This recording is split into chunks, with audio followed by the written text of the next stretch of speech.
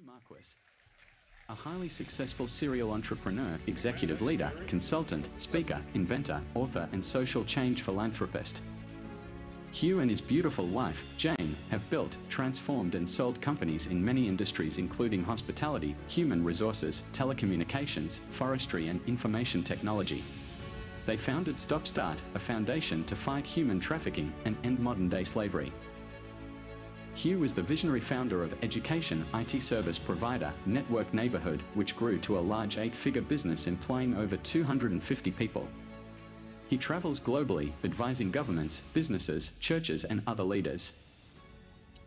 Here is Hugh Marquis.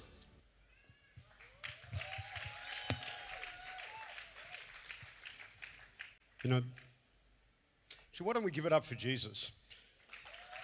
Come on. Come on. Why don't you stand and give it up for Jesus? That's what we're here for. We're here for Jesus. So, can I get somebody on keys for a couple of minutes, please? If we can get that. Like, no, no, no. Keep going. Keep going. Give it up for Jesus. We, we, we would, we're here for Him. We're here for a relationship with Him. Come on. If, if, if you've got a heavenly language, if you've got a heavenly language that you pray in tongues, can I ask you right now to start praying in tongues? Join me in praying in tongues. Come on. Come on, lift your voice to heaven right now. Come on.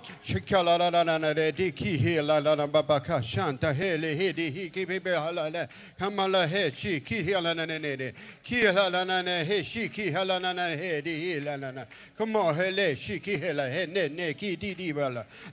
Father, Father, Father. Come, Holy Spirit. Come, Holy Spirit. Fill this place right now. Fill this place. Touch every heart and every person in this place. Jesus, we love you.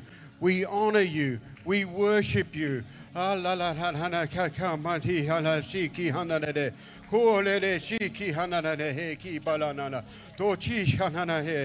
welcome you in this place, Holy Spirit. We welcome you in this place. We have we say, have your way in Port Harcourt. Have your way in your people, Lord Jesus. Have your way.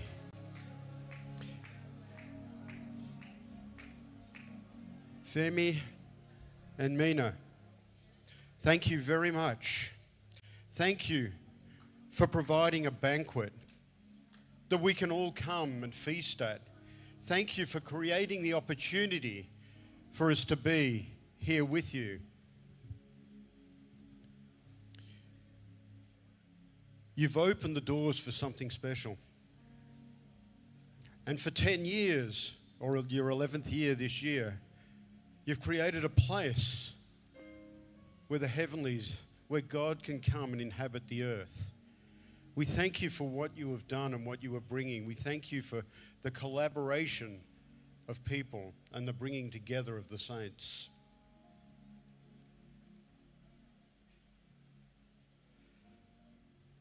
to the team from TRS. As you've been serving the house over the last few days in the prayer room, in the healing room, the prophetic room, thank you for your service and what you've done. I pray that there is an extra touch of God for you today. That God will come and rest upon each one of you as you've served and given words and seen great healings that we've spoken of for years and years and years. You can go ahead and take your seats if you want, or you can stay standing in the presence of the Lord.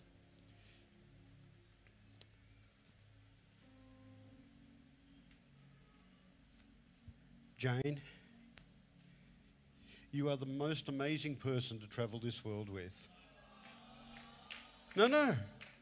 She, there is a gentleness about Jane that wherever she goes, she ushers in the Holy Spirit. She welcomes the Holy Spirit and travels with him. It's a joy traveling with her because doors open, airport doors open, upgrades happen, which is good. But Jane, you, what you carry and what you hold, I honour so much.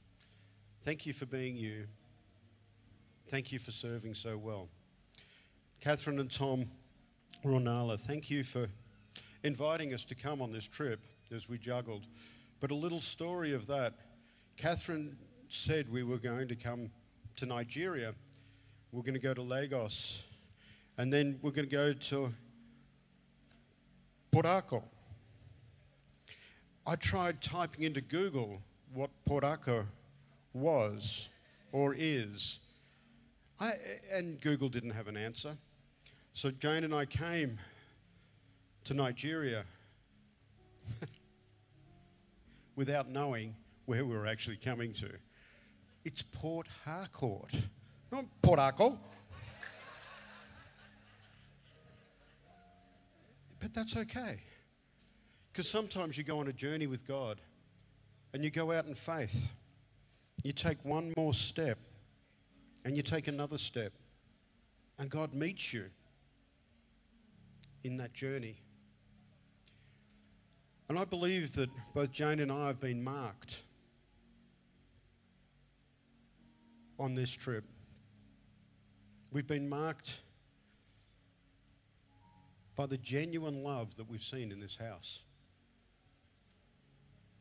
In a world that's hurting and in pain and suffering, to see the genuine love that Jesus talks to us about, to see it walked out, to see us caring for the widows and the orphans, for feeding the hungry.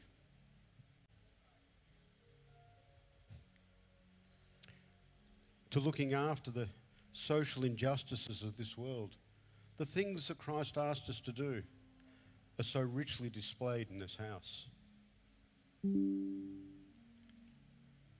So it's no wonder to me, it's no surprise to see the healings that have happened in the house, to see blind eyes open, to see ears pop open, and the look of amazement as people can start to hear again, to see the lame get up and walk, to see the hungry fed. It's no surprise, but it is so exciting. It is so exciting to see that happen. This is the Bible in real, live action.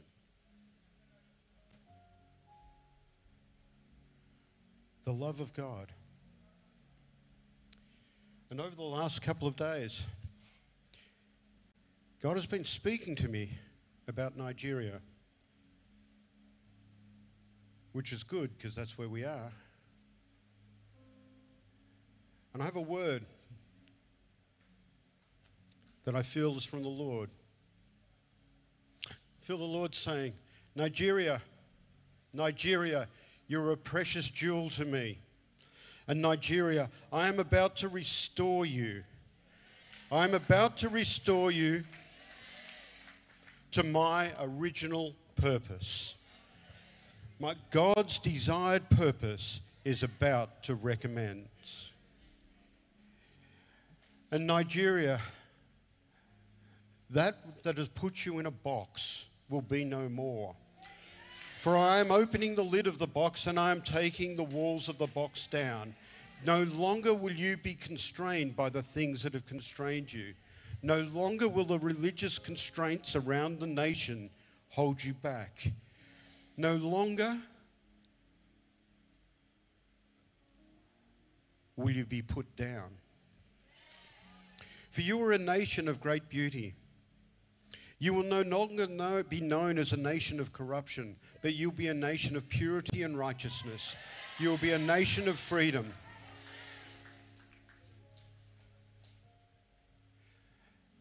For I am releasing a new wave, a wave of my glory, a wave of my glory that will reach every area of society.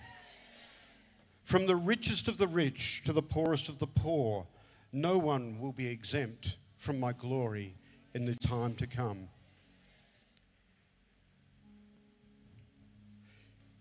It is a wave of righteousness and a wave of glory and a wave of change.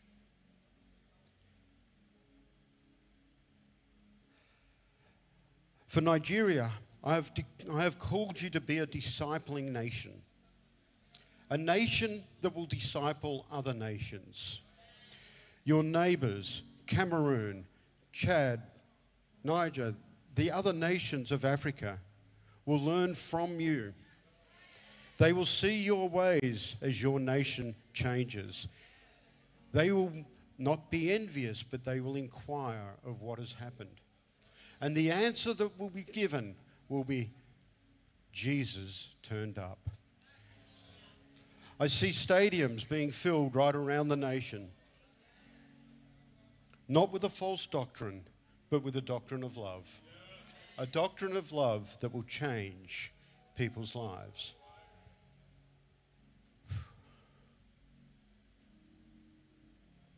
So, Father, we thank you.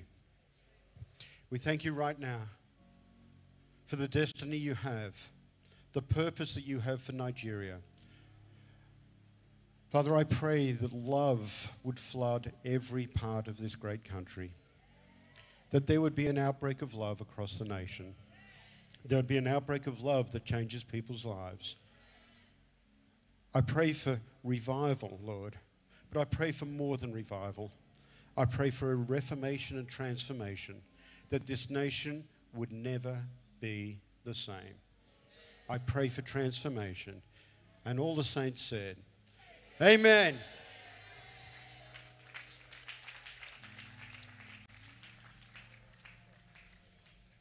And thank you also to the sound guys and the tech. I, I had some slides that I prepared, and they put up a computer and made sure that I had all of that stuff to work with, but I'm not going to use them because the Lord changed what I was going to do.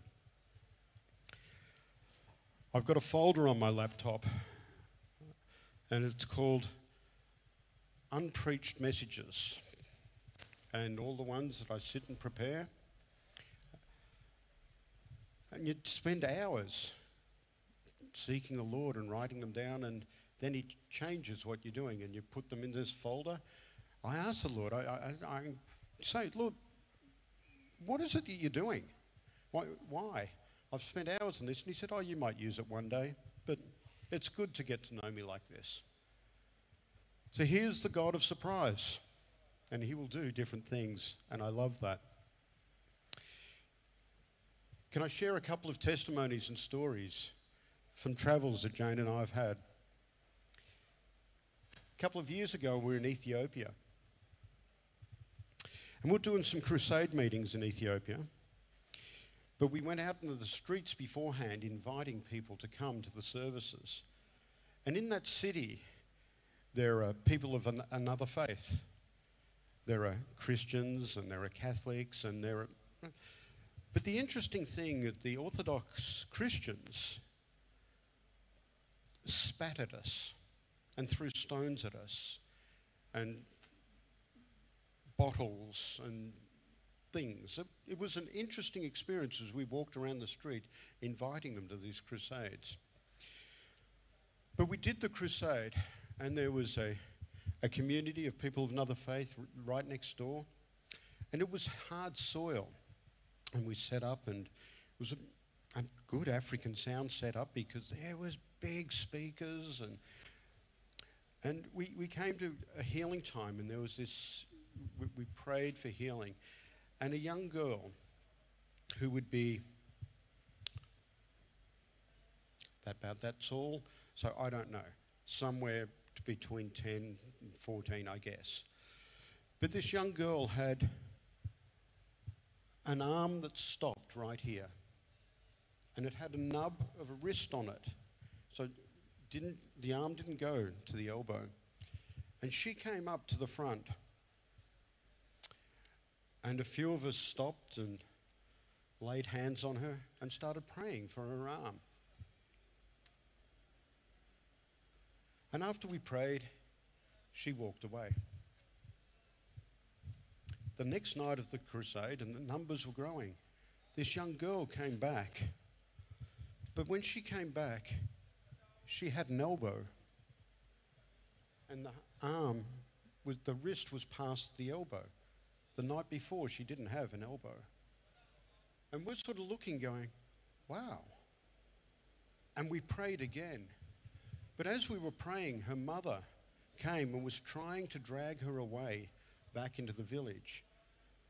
And she was screaming because she's going, No, I need Jesus. I need Jesus. We continued to pray for her, and then she went. The next night she came back at the revival, but her arm had grown out to halfway through. And she had a hand that she could now move her fingers and do fingers. It was phenomenal to watch. And as we prayed for her again, there was an altar call that night. And her mother gives her life to Jesus. And the community that were watching what were happening started coming to the revival. Then the next night, which was the last night, a whole probably another three or four thousand people arrived, but they'd been walking for six days to get from their outlying villages to come to what was happening. And so it all of a sudden got bigger and bigger. And this young girl still made her way to the front. But by this stage, her arm was out to here. And she could move, her fingers had grown, and she could move, but there wasn't a wrist yet.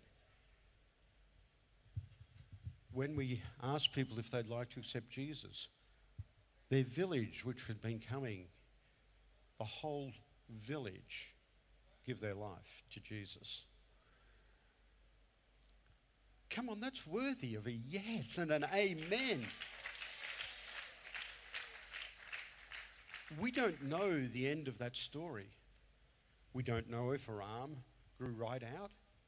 But watching a limb grow day by day over four days was one of the most amazing experiences. Let's give glory to God for that. At, at the same meeting, we prayed for deaf ears. I'd never experienced anybody's ears opening up up until that stage. I know Heidi Baker does it, and I know Randy Clark does it, and I know Catherine Ruonala sees it, and I know Tom Jones sees it. I hadn't seen it. And we were praying for this guy that had been deaf for 10 years. He was older. And as we're praying, you see his eyes go, and they're huge. And he's looking and he starts yelling and he's grabbing us and we're dancing and singing and singing and dancing and dancing and singing because he could hear for the first time in 10 years. I don't know who was more surprised, him or me, or Jane, or the, the, the, team that were praying. We were jumping and dancing with him because it was so exciting to see. And he wanted to run off, but we grab, grabbed him and came, grabbed him back. And we said, Freely you've received, freely you give. There was a whole bunch of deaf people. And we said, You pray for them. And he's laying hands and bang, bang, bang, bang, bang, bang, bang, bang, bang, bang, bang. All of them were healed in the night. And you're watching as they're being healed. It's like, we're sitting there going, can you see what is happening, what God is doing? It's the God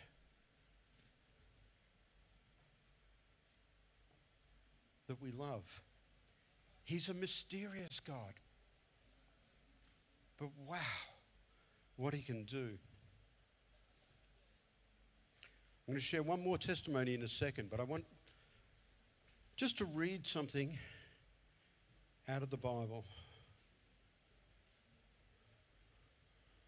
Because I'm conscious that we've got the privilege of having Catherine up again soon, and wow, I am so looking forward to that. So, out of John 15, chapter 12.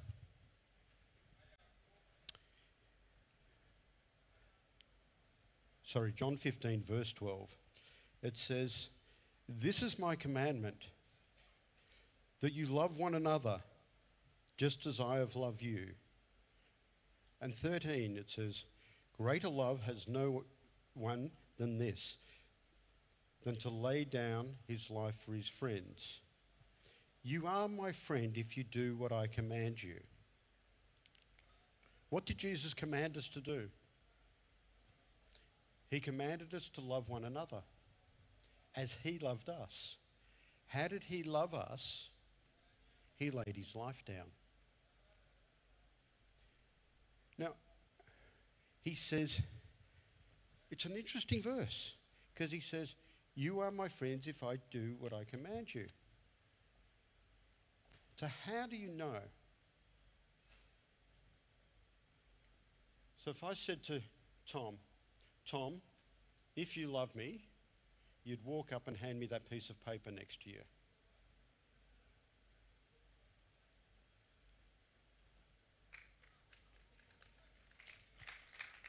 Thank you, Tom. Thank you.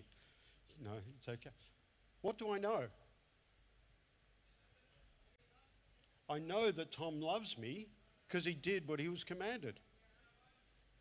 But that's what Jesus wants from us. He wants us to love as he loved, that we would lay our life down for others around us, that we would lay our life down. But you know what?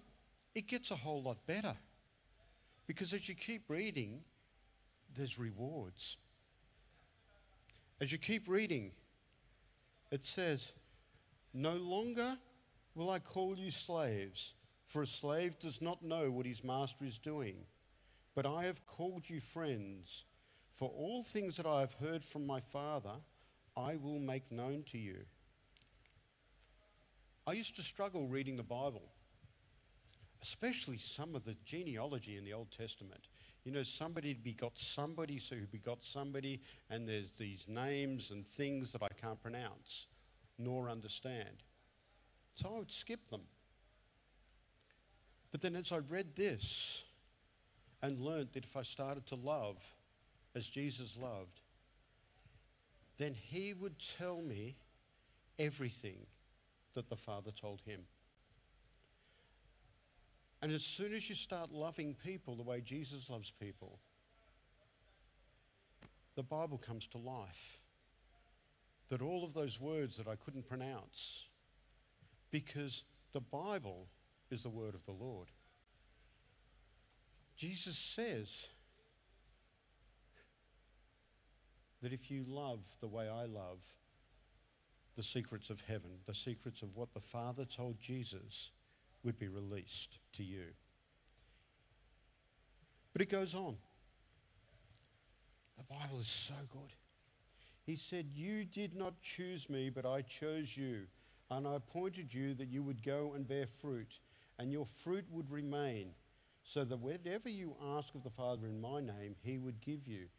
And this I command is that you love one another. There is great fruit. When you show the love of Jesus, there is great fruit. You've been in an absolute treat these last couple of days. A richness of heaven. But it's there for you to take outside of these walls.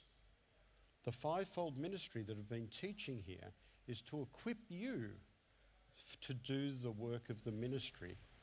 It's so that you can go and show the love of Jesus outside these walls, in the streets. Port Harcourt is only going to come to revival when God's people bring it out to the streets. It starts in you and goes outside.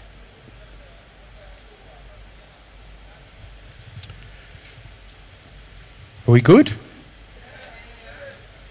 God is so good. Thank you, Holy Spirit. There was another testimony I want to share with you.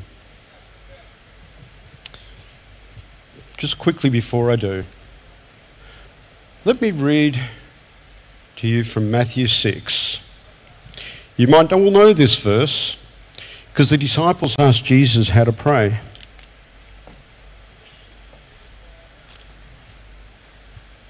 And Jesus told them in Matthew 6, and you could repeat it with me because you know you will all know it.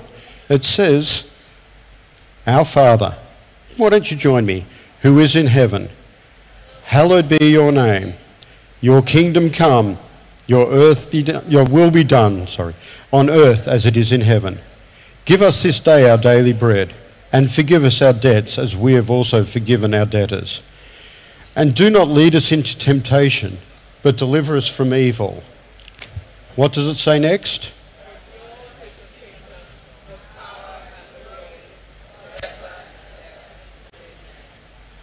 So I believe those last little bit there, for yours is the kingdom, the power and glory forever and ever, was not actually in the original text. It was added in 317 AD by Constantinople. He put that in there. But I believe the addition of those words because we say, and yours is the kingdom forever and ever, amen. And you close the Bible. Well, I do. I did. Does anybody know what the next two verses say? I'll read them to you. It says, For if you forgive others their trans- transgressions, your heavenly Father will also forgive you. But if you do not forgive others, then your Father will not forgive you. And I think it's one of those secrets of Christendom that we overlook. Our Father who art in heaven, hallowed be thy name. Thy kingdom come, thy will be done on earth as it is in heaven. Give us this daily bread and forgive us our trespasses as we forgive those who trespass against us. Lead us not into temptation, deliver us for evil. And if I forgive others, you will forgive me. It doesn't take away from what Jesus did at the cross, but Jesus is teaching us to pray that we need to live in that place of forgiveness. We need to live in that place of unconditional forgiveness. Be very quick to forgive others because that's what Jesus asks of us. We can choose that. And when we forgive, there is healing. When we forgive others for what they've done to us, when we forgive ourselves for what we've done, Is there anybody beside me that has felt guilty over some of the things that they've done in their life? You've got to learn to forgive yourself. Because when you're forgiven and truly forgiven, you can tell your story, and it's your story that's going to set other people free.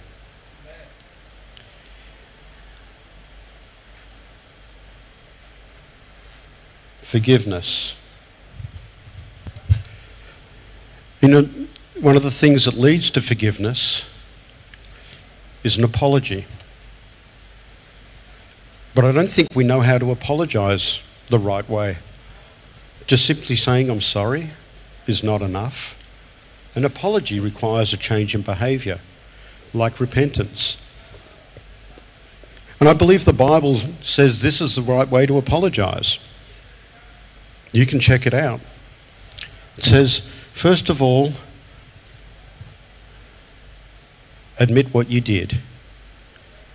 I did this. If you've done something wrong that you need to apologize for, I did this. And then say, I was wrong. Now, men, I understand that that can be difficult, but I want you to do that with me in a second. Okay, when I count to three, we're going to go, I was.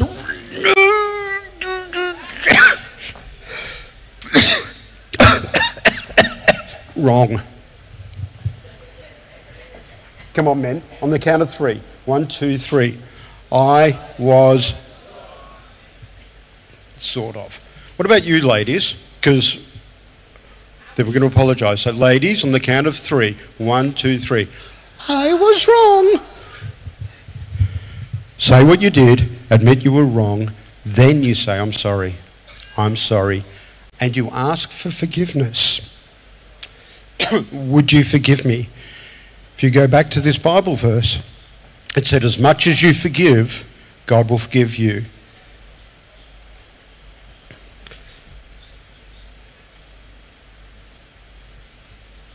Thank you, Joseph.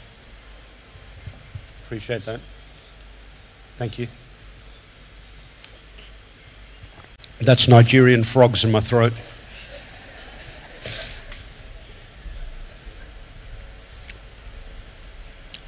We didn't have them at breakfast. We had gizzards. We had. No, it doesn't matter. You ask for forgiveness, and then you give people permission to hold you accountable for your, that you've changed your behavior. Why am I saying that? God is really into relationships, and He wants to see relationships healed. Let me just share quickly. In January, at a conference we were holding in Melbourne, Adelaide, we were somewhere. no, we were in Adelaide.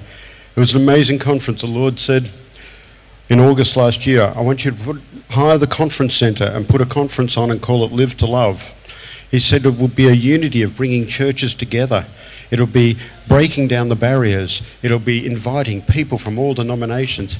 Exactly what our friends have done here and done for 10 years. I should have known you 10 years ago and I could have picked up all of your ideas.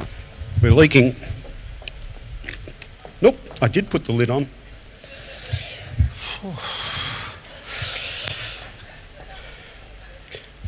I could have learnt so much and not had to try and figure some of this out ourselves. So I'm going to pick your brains for our next one, all right? Is, is that okay? Because you've done an amazing job of what we were asked to do. But our friend Will Hart was speaking. He spoke out of Micah, Micah and he said, and the, fa- the heart of the fathers returned to the sons, and the sons returned to the father. But there was a young man at the conference. He'd flown in from Melbourne.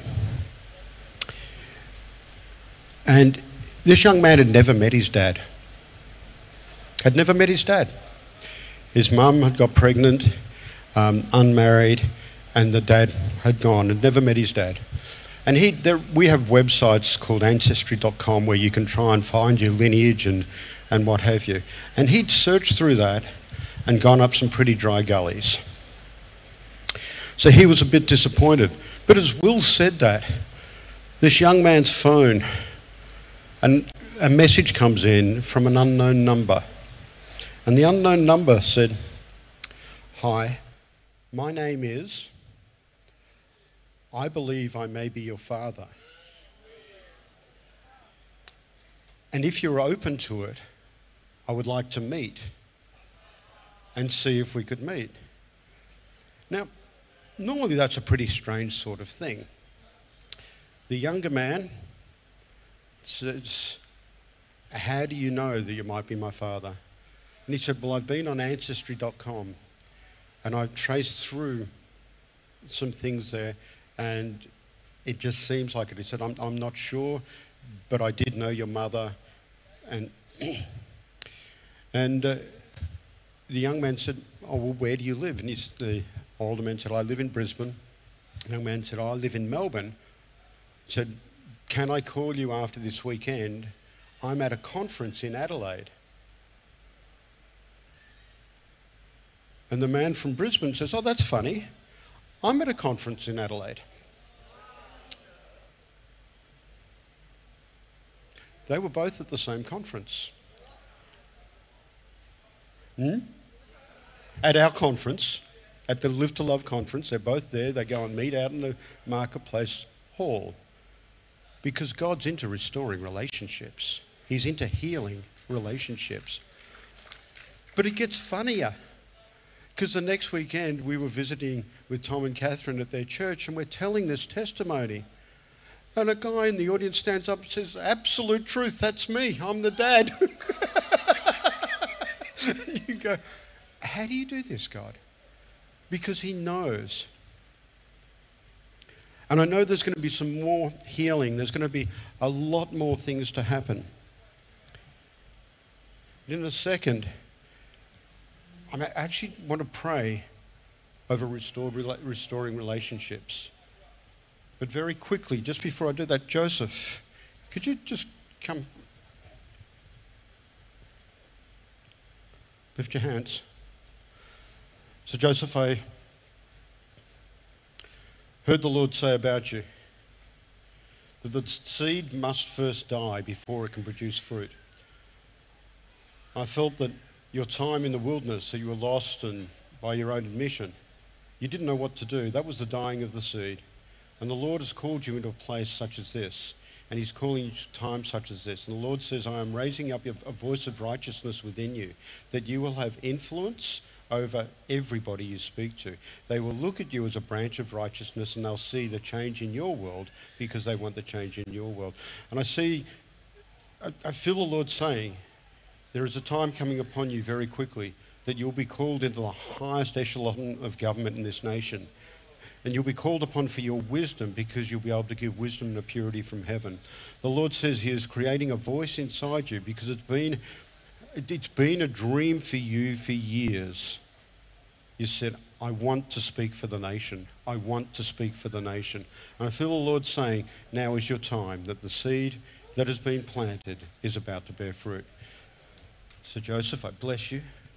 I bless you. In Jesus' name.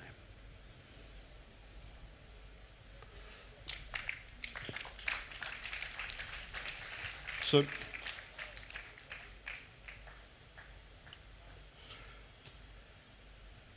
the Lord is very much into restoring relationships. A couple of months back, he asked me, he woke me at three o'clock in the morning. I don't like being woken at three o'clock in the morning. I like sleeping, but God likes to wake me because He has a conversation. And He had this, He said, Why did I send my son? I'm like, It's three o'clock in the morning. Can't we do this later? He said, Why did I send my son? I said, Is this a trick question, God? I said, No, no. Why did I send my son? I said, You sent your son to take our sins, to die on the cross. He said, Yeah, but why? I said, Well, I just answered that. Yeah, but why? And I said, God, you're not three years old. You know, three year olds do that. Why? I, and I said, You sent your son to die on the cross. Take our sin. Yeah, but why? I thought I've answered that. He goes, yeah, but why?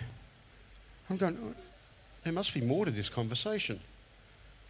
Because sometimes I go to the remedial classes of God.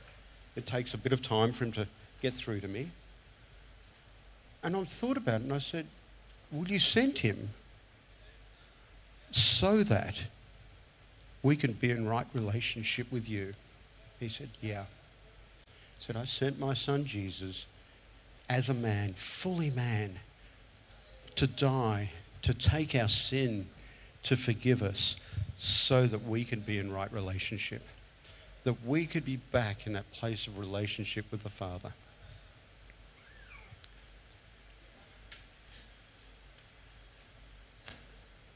And I feel that the Lord wants to restore some relationships.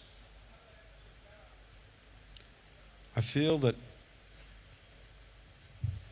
Could I just get someone to play something? I, I would try and play, but it won't work.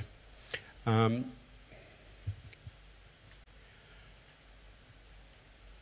the Lord says that there are some hurts and there's some feelings. That hurts and there's been feelings that have been hurt, there's been betrayal. And I know this is delicate. But He wants to bring restoration and He wants to bring healing to those relationships. So if that's you, if you feel that you've been hurt and been betrayed and need healing in areas of relationship, could I ask you to just quickly jump out of your seat? We don't have much time. Quickly come, jump out of your seat and come to the front. Because God's doing something now. He heals in the most magnificent ways. He heals blood pressure, He heals sight, He heals broken arms. But I feel He's also wanting to heal broken hearts. So if that's you right now, the ministry team up here, just come. Just come quickly so we can pray and that God will do a healing in your world.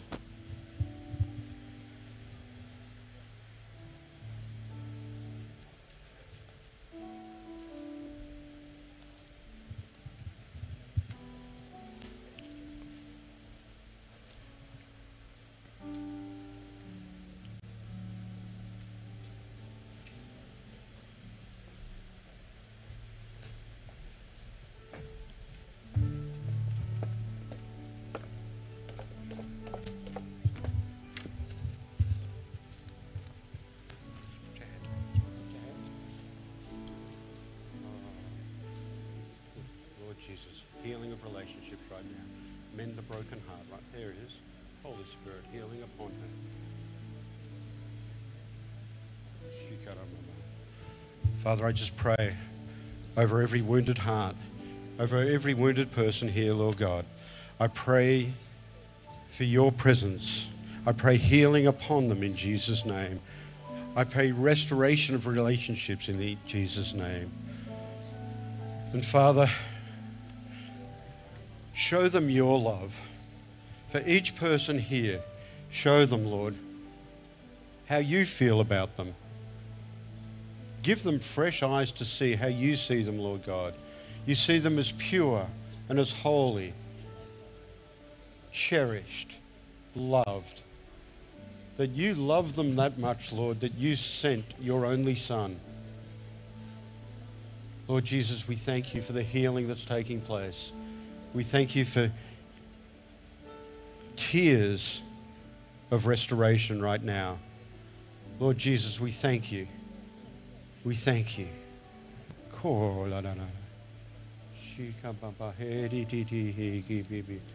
Oh.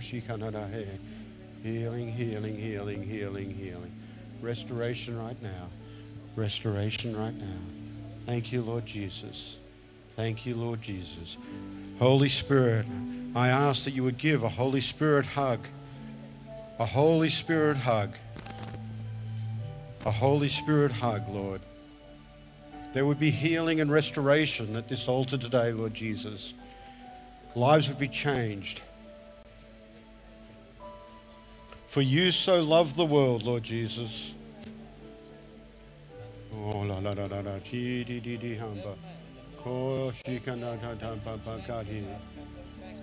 Lord Jesus, Lord Jesus, more, more, more.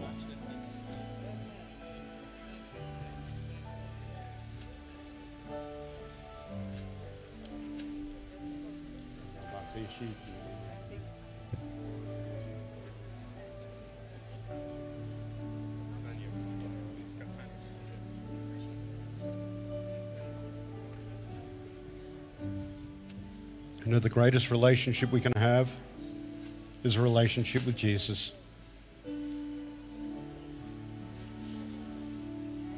He loves you so much.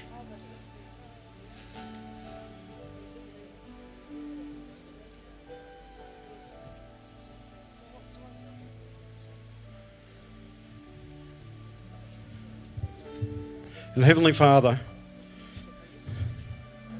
we thank you for all you are doing. And Lord, we just say, would you help us to love the way that you love? That we would lay our life down for others. Lord, that we would be your arms and feet in the community. Lord, that you would use us to be the miracle that someone else is praying for. You would use us to be the miracle that will change people's lives. Father, we thank you for all you are doing, all you are doing. In Jesus' name.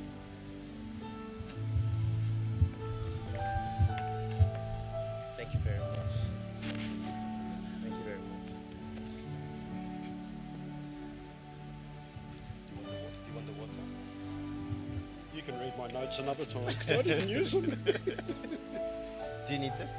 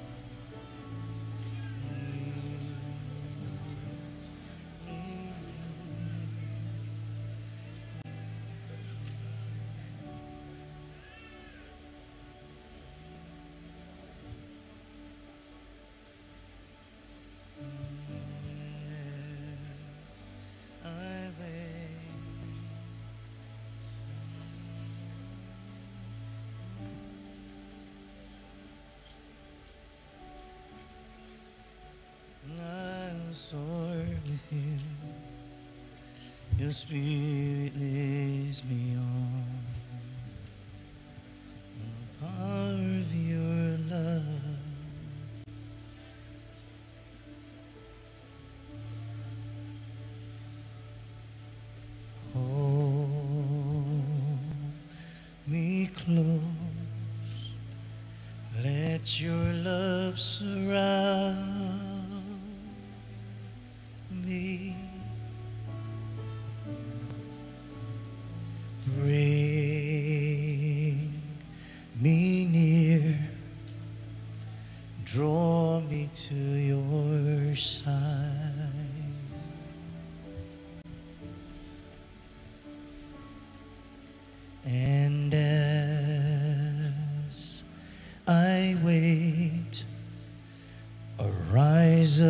Like the